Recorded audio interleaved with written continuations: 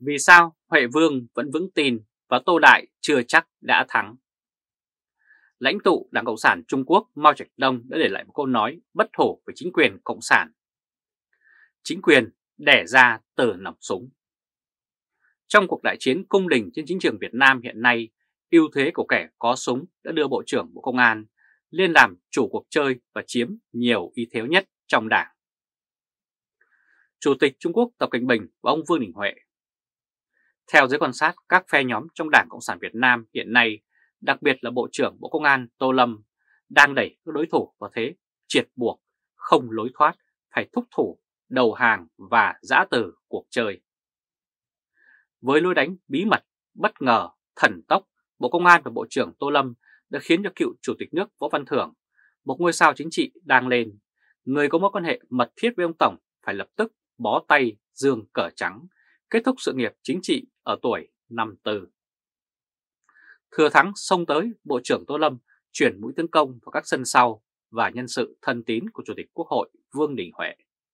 Ông Tô hy vọng sẽ nhanh chóng buộc Huệ Vương phải làm đơn xin từ chức về trách nhiệm chính trị tương tự như các tiền lệ trước đây. Đến lúc đó, Tô Đại Tướng sẽ một mình một ngựa, ung dung tiến tới ngồi vào chiếc ghế Tổng Bí Thư của Đảng Cộng sản Việt Nam, bất kể có hay không có sự tồn tại của Tổng Trọng. Đó là lý do sau khi Tô Lâm cho bắt Nguyễn Duy Hưng và Phạm Thái Hà đã lập tức xuất hiện tin đồn cho rằng Huệ Vương đã thúc thủ buông gương xin thôi chức để tránh bị truy tố trách nhiệm hình sự. Không lâu sau lại rộ lên các tin tức khẳng định rằng những thông tin gây bất lợi cho ông Huệ là do phe của Bộ Công an tung ra. Tô Lâm đã đánh giá không đúng cũng như không biết hết về tiềm năng của phe nghệ tĩnh và ông trùm Vương Đình Huệ. Tổng Bí thư Nguyễn Phú Trọng và ông Vương Đình Huệ. Tại sao lại nói như vậy? Thứ nhất có thông tin cho biết trong phiên họp của Bộ Chính trị chiều ngày 19 tháng 4, ông Vương Đình Huệ dứt khoát không nhận tội, mà còn thẳng thừng bác bỏ các cáo buộc của Bộ Công an. Ông còn yêu cầu Bộ Chính trị và Tổng Bí thư làm rõ có hay không có một thế lực đang lộng quyền, tiếm quyền trong đảng âm mưu hạ bệ tôi, thao túng chính trưởng. Theo giới phân tích, một tài liệu do gì của Ủy ban Kiểm tra Trung ương lan truyền trên mạng xã hội liên quan đến việc kiểm tra và làm rõ báo cáo của Bộ Công an về những sai phạm của ông Huệ. Theo đó, Ủy ban Kiểm tra Trung ương yêu cầu lập đoàn kiểm tra trong vòng 60 ngày để kết luận, sau đó sẽ báo cáo cụ thể cho Bộ Chính trị. Điều này cho thấy chưa tới mức Huệ Vương phải chủ động nhận tội. Điều này hãy còn quá sớm. Nhà báo Lê Nguyễn Hưng Trà, cô gái Đổ Long, người được cho là Facebooker rất thạo tin, cũng thừa nhận trong một comment trả lời nhà báo Hoàng Linh cho biết chưa có chuyện làm đơn từ chức. Đó là lý do tại sao, theo giới phân tích, các thông tin vừa kể trên cho thấy Huệ Vương thực sự chưa thúc thổ.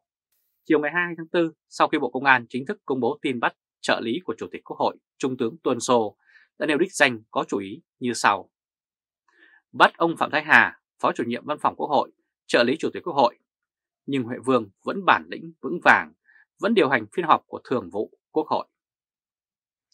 Bộ trưởng Bộ Công an, ông Đại tướng Tô Lâm. Theo nguyên tắc tập trung dân chủ và điều lệ đảng quy định, nghị quyết của Bộ Chính trị và Ban chấp hành Trung ương phải tuân theo biểu quyết của đa số. Trong khi chỉ riêng phe Nghệ An đã nắm giữ tới 4 ghế ủy viên Bộ Chính trị và 14 ghế ủy viên Trung ương Đảng. Hơn nữa, ông Huệ còn có lá phiếu của Tổng Trọng cùng với nhóm Hà Tĩnh và các phe cánh khác đang ủng hộ Tổng Bí Thư. Như vậy, ưu thế của ông Huệ vẫn còn khá lớn. Trong trường hợp ông Vương Đình Huệ thực sự bị đưa ra Ban chấp hành Trung ương để xem xét kỷ luật, thì khả năng Huệ Vương thoát tội vẫn rất cao. Hội nghị Trung ương 6 khóa 11 là một ví dụ. Khi đó Tổng Trọng đưa bà Dũng ra Ban chấp hành Trung ương để mà kỷ luật nhưng bất thành vì số phiếu ủng hộ bà Dũng trong đảng rất cao. Chưa kể đến mối quan hệ bền chặt giữa ông Tập Cảnh Bình và ông Tổng Bí thư Nguyễn Phú Trọng cũng như phe Nghệ An. Trong khi đó, lực lượng của Tô Đại Tướng cho Bộ Chính trị là khá thấp và cái tiếng nói của các đệ tử của cựu Thủ tướng Nguyễn Tân Dũng cũng là một điều rất bất lợi cho Tô Lâm. Đó là lý do tại sao có nhiều ý kiến cho rằng Bộ trưởng Tô Lâm chưa chắc đã giành chiến thắng trong việc hạ bệ Vương Đình Huệ. Quý vị và các bạn có theo dõi chương trình trực tiếp của Thời báo chấm với bản tin Vì sao Huệ Vương vẫn vững tin và Tô Đại chưa chắc đã thắng. Quý vị và các bạn hãy chia sẻ video này cho nhiều người biết và bấm nút theo dõi YouTube và Facebook của Thời báo chấm để luôn được cập nhật những bản tin mới nhất, nhanh nhất và trung thực nhất. Từ Berlin, Cộng hòa Liên bang Đức chào các bạn và hẹn gặp lại các bạn ở bản tin lần tới. Trung Khoa Thời báo .d Huệ Vương chắc chắn sẽ ra đi, Tô Đại phải cẩn trọng điều gì từ Bắc Kinh. Trong bối cảnh cuộc chiến quyền lực giữa các cá nhân và phe phái trong nội bộ Đảng Cộng sản Việt Nam hiện nay đang diễn ra với cao trào. Giới phân tích cho rằng đây là đỉnh điểm cao nhất chưa từng thấy trong lịch sử của Đảng Cộng sản Việt Nam. Chỉ trong vòng chưa đầy 15 tháng, không chỉ số ủy viên Bộ Chính trị bị rơi dụng gần 5 đồng chí. Trong tương lai không xa, con số 18 ủy viên sẽ còn lại có 13, một con số đầy rủi ro.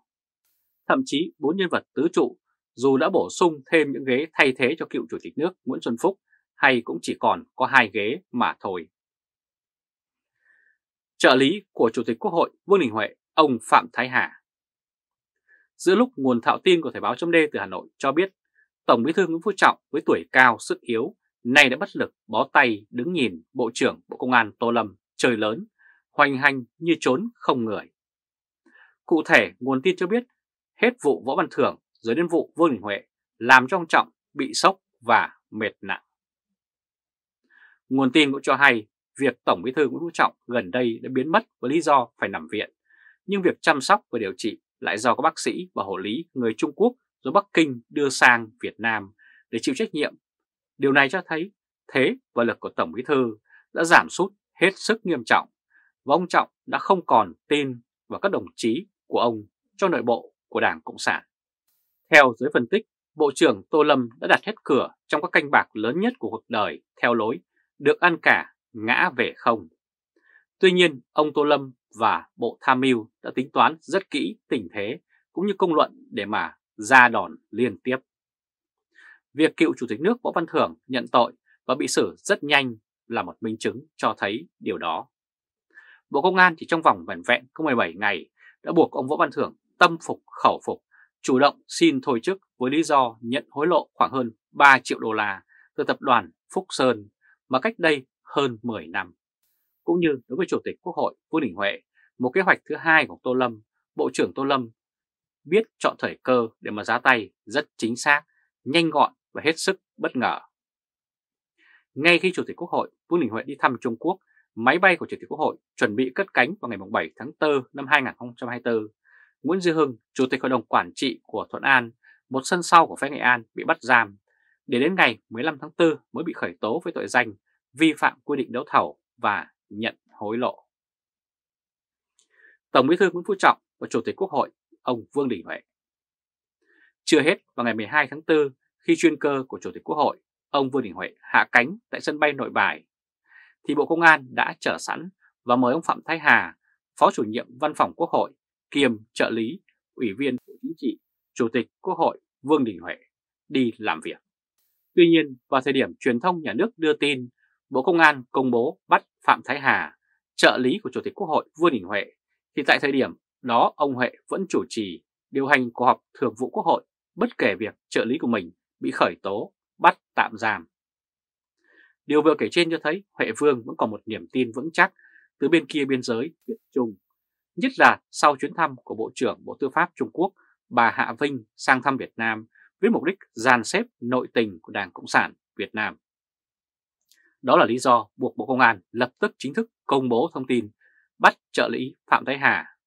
Dù rằng ai cũng biết ông Hà bị bắt ngay tại sân bay nội bài sau khi chuyên cơ của Chủ tịch Quốc hội hạ cánh vào ngày 12 tháng 4 năm 2024 sau chuyến thăm chính thức Bắc Kinh.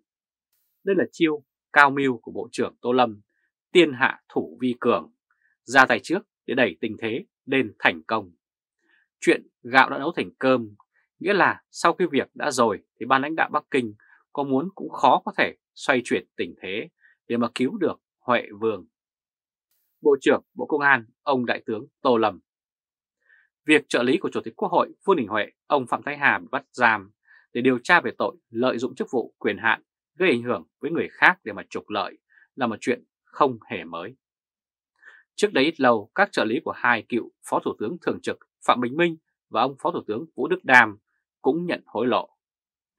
căn cứ theo quy định của Đảng về trách nhiệm nêu gương của người đứng đầu, tất cả đều chủ động từ chức về trách nhiệm chính trị, kể cả cựu Chủ tịch nước Nguyễn Xuân Phúc cũng như vậy. Công luận đánh giá với việc ông bắt bắt ông Nguyễn Duy Hưng được coi là doanh nghiệp sân sau của ông Vương Đình Huệ cho thấy vị trí của ông Huệ đang bị đe dọa nghiêm trọng.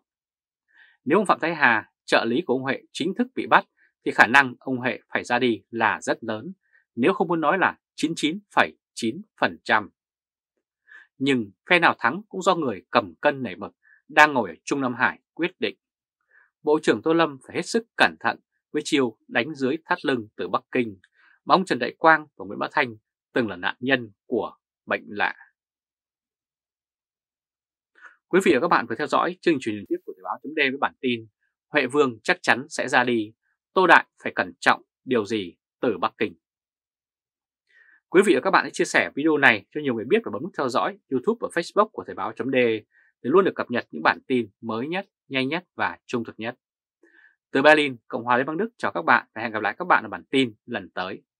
Trung Khoa Thời báo chấm